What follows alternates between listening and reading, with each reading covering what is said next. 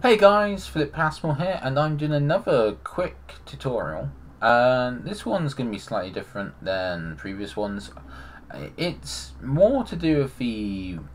I wanted to do something on power and shields, because I noticed I've still got friends who are screwing this up.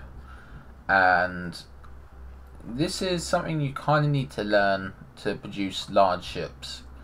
And admittedly, I haven't really had to learn it because you can get by on smaller ships without needing to know how to do proper effective um, power generation systems. But since doing the cloaking ship, and considering I want this ship to be able to um, jam, uh, yeah, I've built. This is going to be a huge ship eventually. Probably looking at about. Hmm, I'm not actually sure. I might go for about 28 wide 28, 29 wide, three floors, and I'm not sure how long it's going to be. But, you know, it's a work in progress. And now, what you see here is essentially a.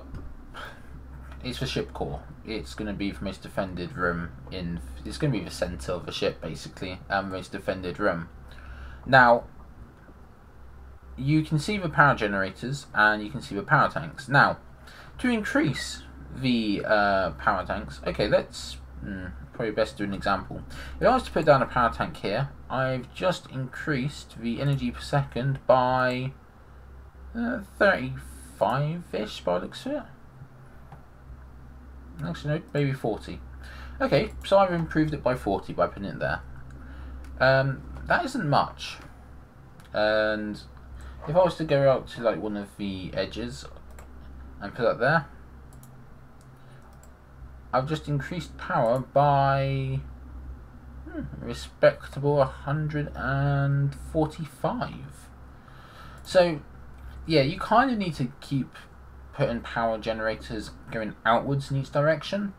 Uh, the way I kind of do it is, the way I've designed this one is it's going underneath corridors and I'm kind of doing it as a sort of, if you can imagine wiring up the ship. So the core power flows will of course go past the core. Uh, make sure everything, all the power generators are then connected. This isn't the same rule you need to know for um, shields. Shields, on the other hand, are absolutely wonderful space fillers. They don't need to be connected to. Um, they have the same effect if Let's say I was to go over here. If I was to put some down here, it would have the same shield boost and the same impact on recharge rate as if I actually put it down connected to some to um some shield generators if I can find some. Um, there we go.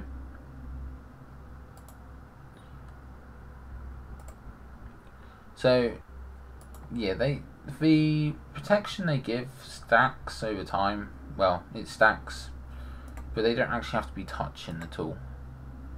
Uh, if I was to put the blocks apart, it, it's the same boost to um, regen for shields and shield capacity. So the way I kind of view shields is that they're great fillers. So where I've actually built a more complex sort of power line system underneath I can fill these random little gaps which have been left with shield generators. And it's nice they don't follow the same rules. Power tanks, of course, follow the same rules as power generators. And I thought this would make a nice little tutorial because I've seen some really weird advice on the forums, and I don't know whether it's just old advice or whether this is actually still relevant. Um, for example, blocking generators uh, five by five blocks. So what? Yeah, five by five by five blocks of generators. So 125 generators. If you do that in a block, apparently that gives you a massive energy boost. Now, okay, it does give more energy boost than if it was, you know, 125 generators randomly placed around the ship. There, I think it gives like two or three times the amount of power. But it's not the most efficient method because by expanding out in um, certain directions, if I go over here, I get a boost of about 700 power. maybe close to 800 there.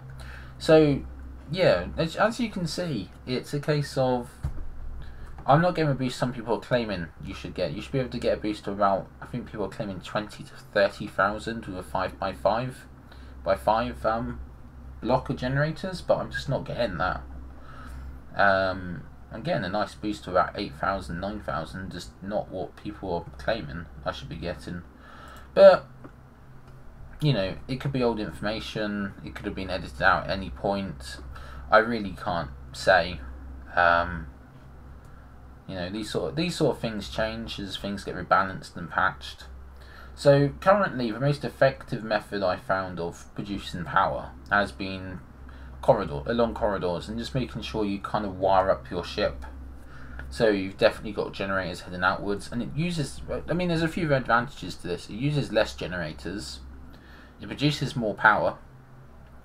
And you may be wondering why I've doubled, because if you go down here, you can see following the bottom of the corridor, there's generators on both sides. But that's more to do with the fact that I don't want to leave any weak points for um, block damage in a fight, really. And even here, um, I've got downward stairs which I need to build, so I'm probably going to have to take that lump out, um, run them under here. But that isn't problematic, that is actually really easy to do. But yeah, no, as you can see, um, power tanks don't add actually much power until you've got an awful lot of them.